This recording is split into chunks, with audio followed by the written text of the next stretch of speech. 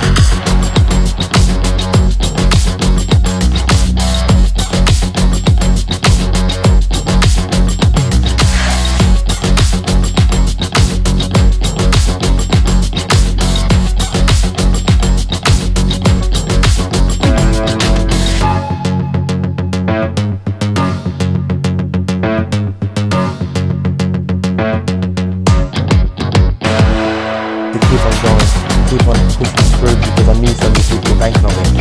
Right now my arm feels like it's got shooting things going up and you can see my, my left hand, my left hand stretched out.